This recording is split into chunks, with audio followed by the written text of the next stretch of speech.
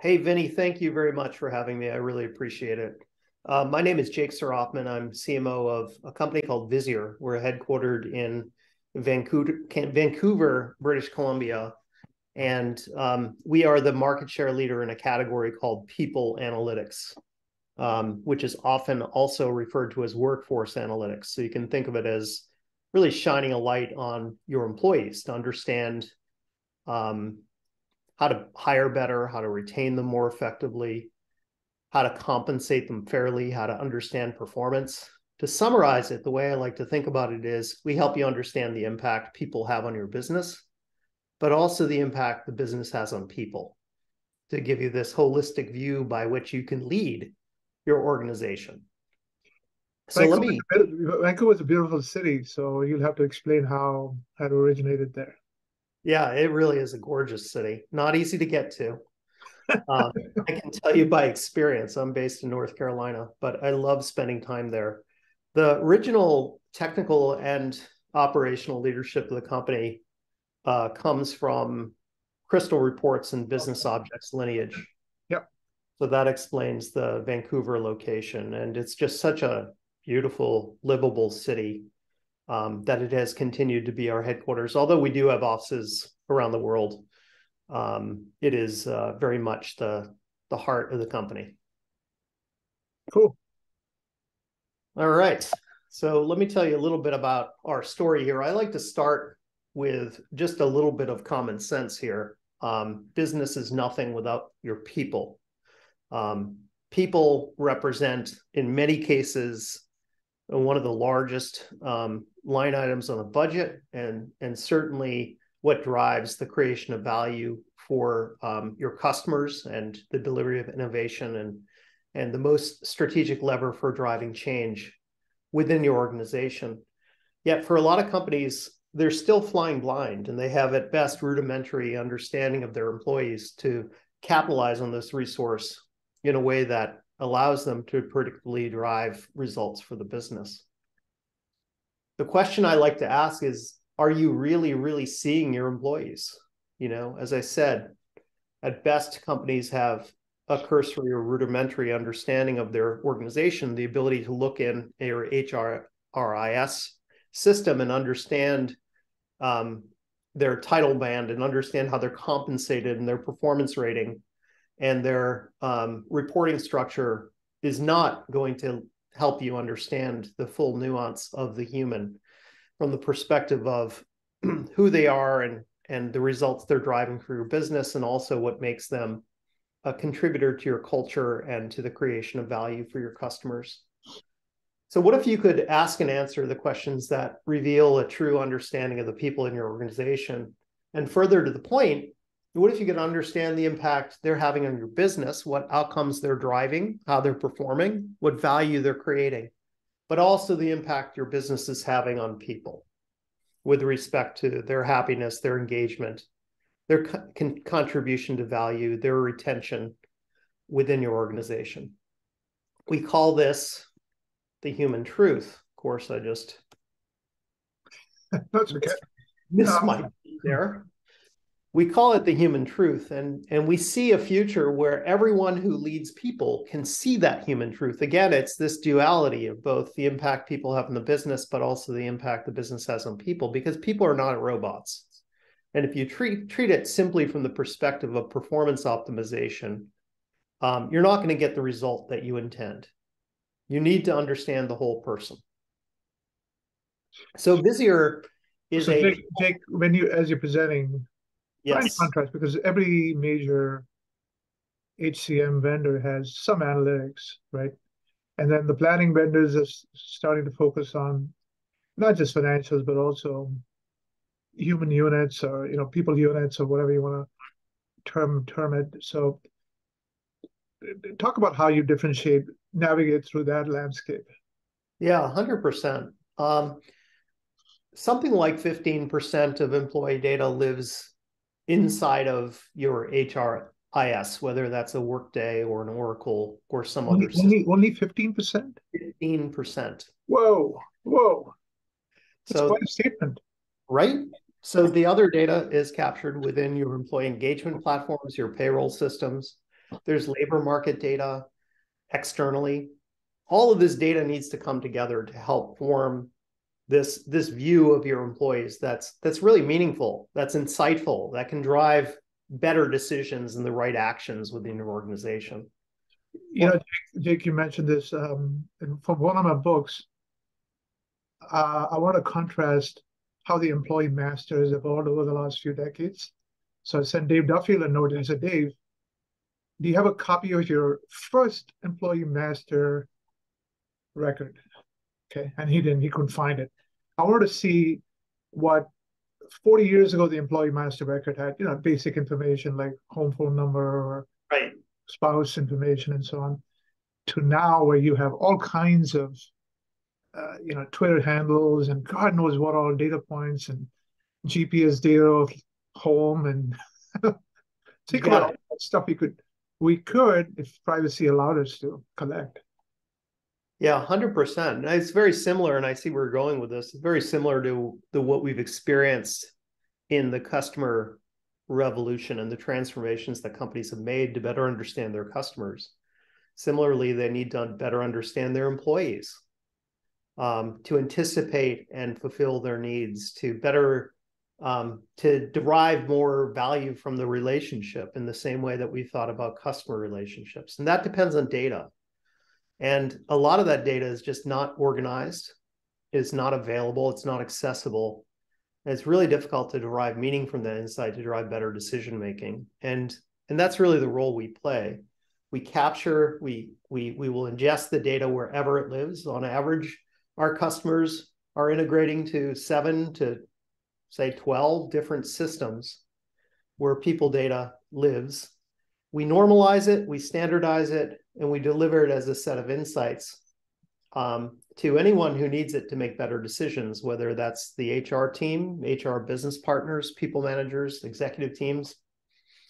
Um, and one of the things that I, I failed to mention, and it's a key differentiator of Visier, is that we pre-built 2000 plus questions and corresponding analytic models to answer these questions. So this is not a custom build platform. This is very different from what you'd expect from a, a general purpose business intelligence platform.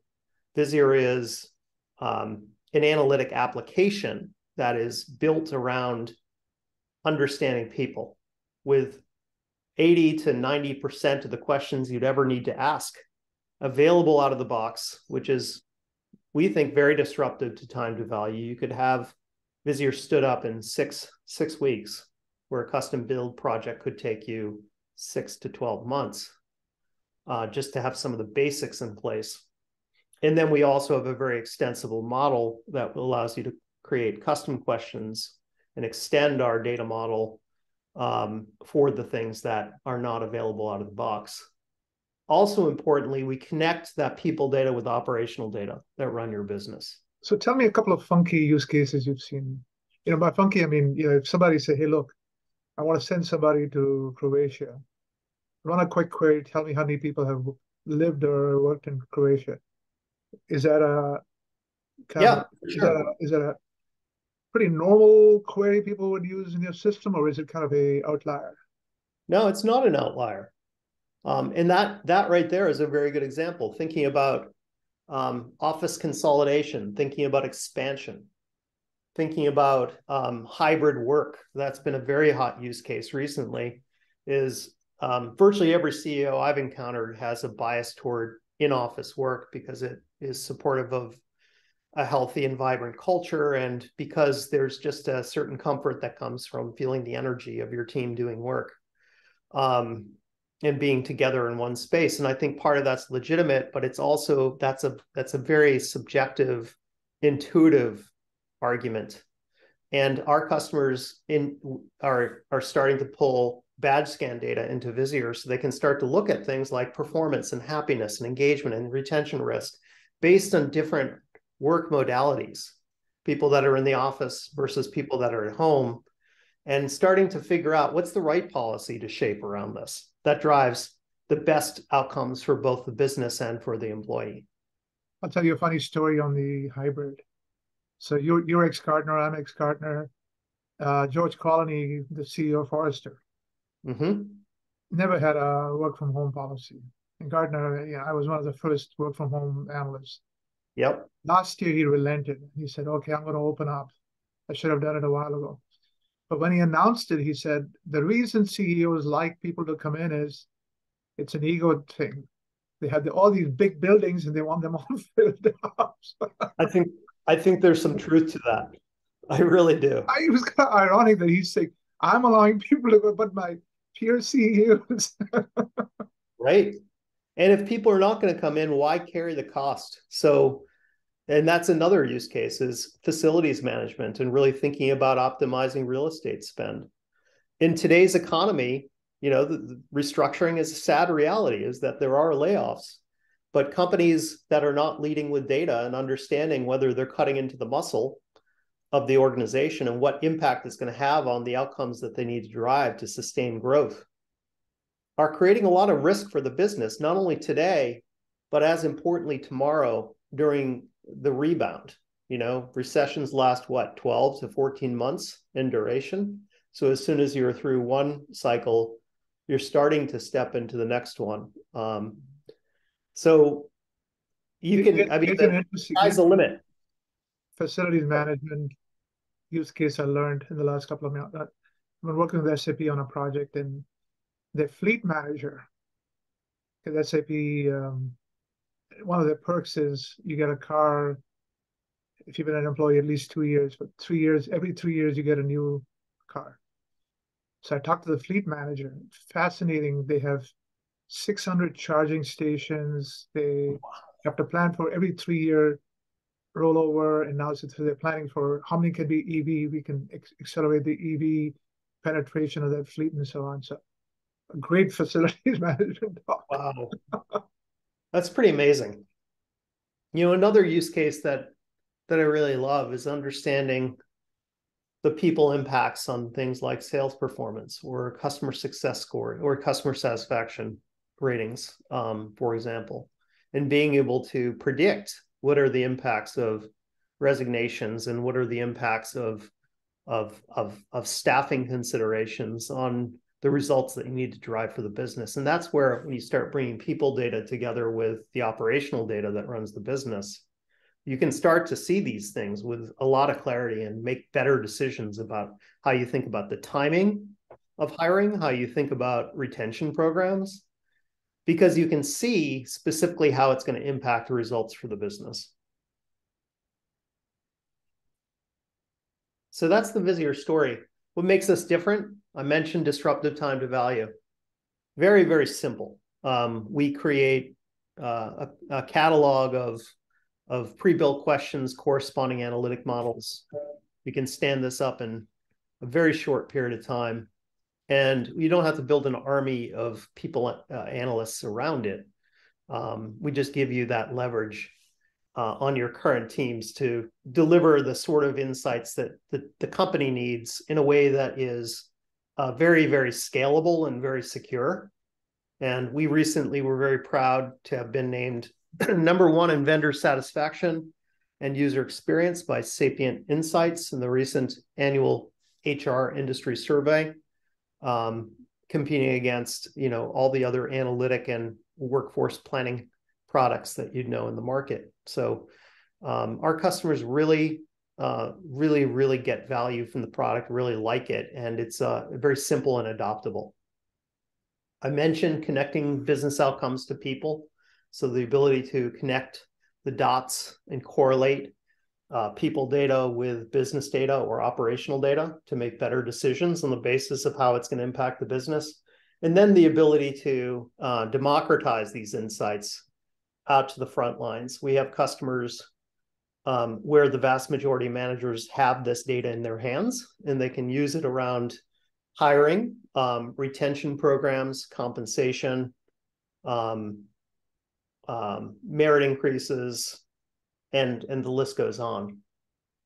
Um, and and doing it in a way that's very secure because of course people data is um, extremely sensitive um, probably among the most sensitive classes of data within any organization and we built an extremely robust security model that allows this to be scaled a way that honors um, access and privileges uh, across a very diverse user base.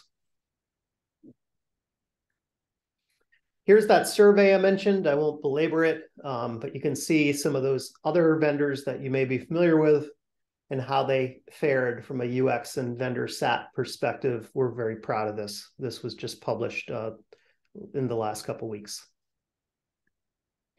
And Josh Bersin, who's one of the leading leading analysts in HR tech, um, has also recognized as clearly the market leader in this in this category.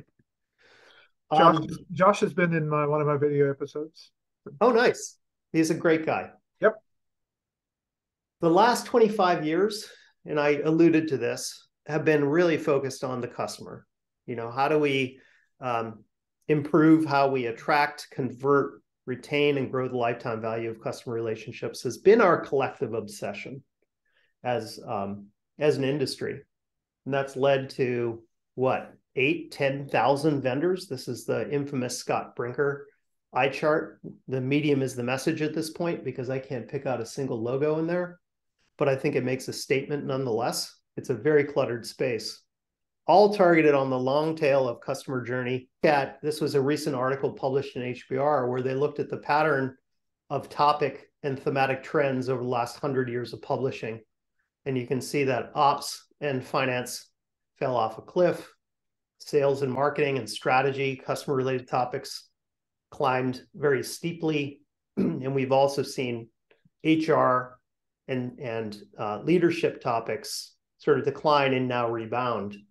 Um, it's certainly not um, perfectly uh, aligned to the claim that the next 25 years will be about the employee. But when you think about the structural shifts in the labor markets, when you think about the changing power dynamics between employees and employers, when you think about the change necessary to drive the next waves of innovation and competitive advantage for companies, when you think about the skill shortages, all this points to the fact that this is becoming a massive mega trend that we think will um, manifest on the on an order of magnitude similar to what we've seen over the last 25 years. Jake, the only the only thing I would point out here is that they probably didn't look at enough categories. If you look at certain industries, smart assets, robotics, automation is one of the hottest topics, right? It's and accelerated because of the HR issues like yes, the great resignation and so on. And then in some other industries, you're seeing new business models, new networks, just huge interest in that. So you make a good point. You know, HR is certainly employee-centric uh, information data has been neglected, so it's getting attention. Yeah, I, wouldn't jump to a overall conclusions as that's the only one. Yeah, of course you're right. I think there's um there's a lot of truth to what you're saying. We think it's on a an upward climb. It's growing in importance, um, but uh, it's not the only thing. I completely agree with you but to your point, the previous chart, the the ten thousand, the ten thousand CRM. Um, I should have used this. I was pre presenting to somebody on how horizontals, CRM, HCM, finance, and all that have gotten a little too much VC money. Mm -hmm. I should have used this slide. Oh my God. I mean, it's crazy. They're like following a herd, right? it's madness. It's absolute madness. Um, and and the reason we think that this is so important is because people are particularly vulnerable to these macro shifts that we see happening in the world, these unpredictable changes, and being able to manage through those, whether it's the pandemic, um, social reckoning in America and globally, really, the great resignation, the recession that we're stepping into, whatever comes next requires data. This is no area to fly blind, nowhere to guess or rely on in intuition. Um, many of the largest companies in the world use Visier. We have two primary lines of business. The first is selling directly to large companies like these. And we also have an embedded business where we sell OEM style through a number of uh, HR tech SaaS products. Um, the combination of both um, allows us to um, take credit for 25,000 customers today, um, almost 20 million employee records under management through the combination of our direct embedded business. Um, the, the embedded business, do they only have the the channel? Does it have access to your code or also your data? Both. Both. Okay. Okay. Both. Yeah, so that's been a significant driver of our benchmark data, which I didn't talk about. But that's a, also a differentiator for us and very valuable, is being able to understand what good looks like um, for um, companies that are similar in size, industry, geography, et cetera. Are the, is the benchmark data like Hackett Group used to do that level of granularity, or is it a higher level? It's pretty granular. Yeah, and a subset of it is actually available for free to non-customers at Visier.com. So we make some of it available and you can go in there and explore it. So that's it. That's our story. Jake, you did a great job. I used the more of most of your 20 minutes. Thank you. Appreciate it. And I appreciate the opportunity. It's been fun to chat. Thank you for uh, making the presentation. And, um, you know, us, us as analysts uh, can, can get rid of us. No, that's true. That's true. the world may try, but they won't. And and the fact that George Colony's accepted that some of us don't want to live in in Connecticut is it's a huge victory for us. Stamford, Connecticut's a beautiful place. Parts of it. Parts of it. Um, Weather's a little rough. Every city has its ups and downs, you know. So, For sure. For sure. All right, Jake. Well, thank you so much. Yeah, I enjoyed it. Thank you. Talk to you soon.